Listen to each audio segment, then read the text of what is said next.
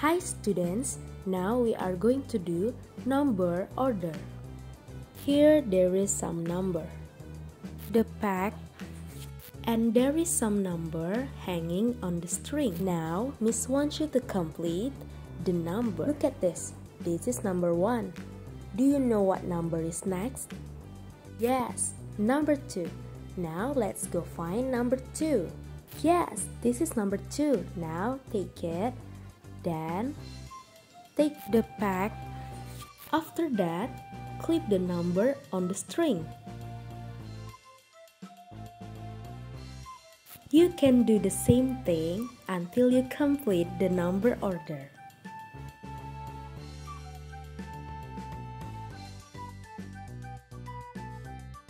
That's how you do it. Now it's your turn. Bye bye.